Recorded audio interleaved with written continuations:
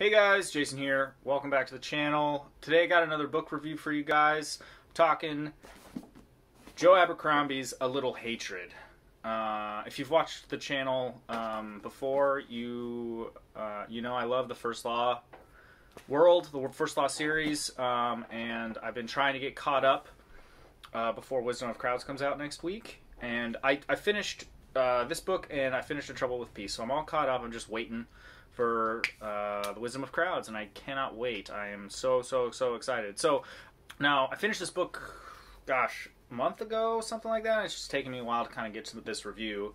Um, I'm trying to get all the reviews out before Wisdom of Crowd comes, so I'm going to be doing this one, and then I'm going to do a Trouble with Peace here pretty soon too.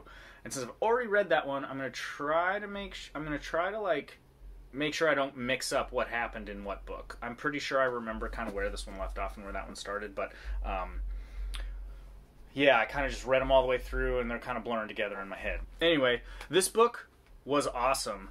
Like every single entry in this series is like better than the one before it. Like Joe Abercrombie's writing is just improved so much and like like the blade itself is incredible and the first trilogy is incredible but like like i said every single book that he puts out is just is just better and more and like better crafted and better paced and the characters are more en- engaging and i just love joe abercrombie. He's amazing. So anyway a little hatred. Uh, what is this one about? So this is a beginning of a new trilogy i guess the age of madness.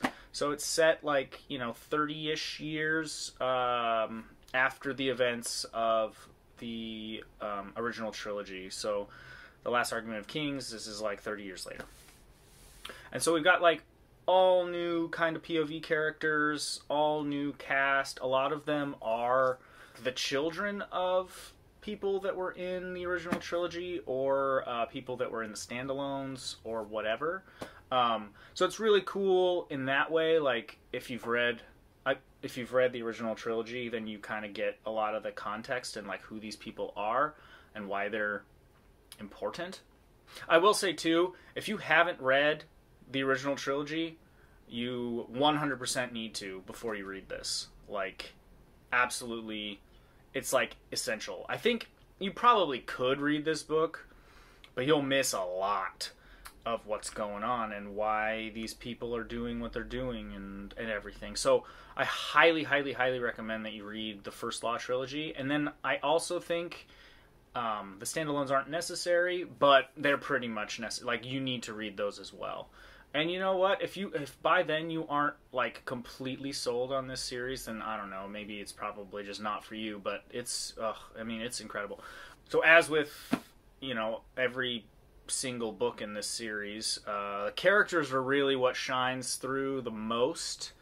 Uh, they're all just so well drawn and like relatable and like you understand why they're doing what they're doing. You maybe don't agree with what they're doing. They're not necessarily good people, but they're just great characters that you can like really really root for and um, there's no like good guys bad guys so like you it's weird you don't really have like a side. Like you're just seeing what's going on with these people and like and you're just like wondering what's going to happen next. So this in this book there's like four i guess kind of main characters. Um, you got savine dan glokta she is the daughter of Ardee and uh, sand dan glokta um, from the original trilogy uh, you got leo dan brock who is Finree dan brock's son he's up in the north, you know, doing his thing.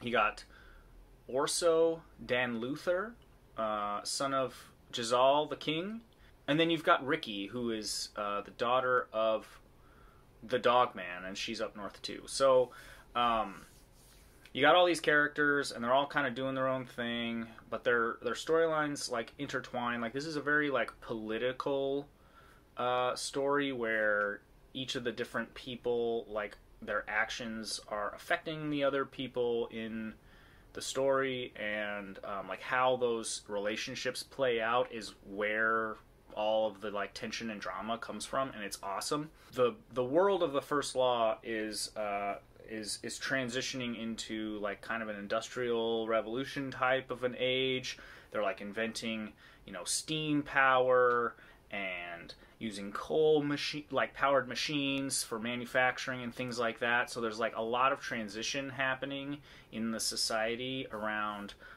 workers and stuff. There's like a there's a common like saying that like um when or like I guess it's kind of a marketing term when they're like proposing these new things. It's like, "Oh, these machines can do the work of 10 men." And then and you only need one person to run the machine and then everyone's like, "Well, what happens to the other 9 workers?" And so that's like part of it like like how does society deal with like this all these all these people that are out of work?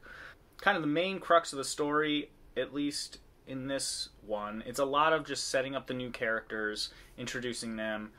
Um, Savine is this like really like tactful, kind of ruthless, like investor. So she like goes she goes around and she sets up different ma- manufacturers and like she's like a businesswoman. So she she like manipulates people into deals with her so that she can make money. She's very very wealthy. She's in like the upper echelons of like the social order. Like she hangs out with all the rich people and like goes to all the parties and she's very beautiful. And she has a relationship with Orso the prince and he's kind of like this like playboy. He does drugs. He's drunk all the time. He has sex with prostitutes all the time like he just doesn't take his life very seriously and he's not very ambitious and he doesn't really give a shit about anything. He's been like given everything he's ever wanted. Like he hasn't he's never had to want for anything because he's the prince. He's kind of lost and doesn't really know what he wants or what he's doing. Leo is in the north. He is uh, he's part of the Angland army um, and he is like protecting there's like this section of the north called the protectorate where the dogman is put in place to kind of govern that area. It's technically part of the Union, but it's also like part of the North. So um, he's there with the Anglanders, and they're like kind of helping him govern and protect that area. And then Rikke is a northerner. She's Dogman's son. She she hangs out with with Leo up there and like stuff. She's also got like she has seizures and stuff, and then while she's having her fits, she can like see she has like prophetic sort of dreams or whatever. Um, so she's a really interesting character. But anyway basically what happens is you know the people that live in the protectorate are at war with the northerners. So you got you got black calder and then his son or his brother scale and then his son stour nightfall. Um, and they're they're like the northern sort of faction warring with the anglanders so there's that war going on all the while, there is civil unrest in Adua. Um, there's a city called Valbeck where a lot of manufacturing and stuff goes on. There's like a workers' uprising that happens that is just awesome. So that's kind of what's going on politically and like how all this stuff works together is it's just it's just awesome.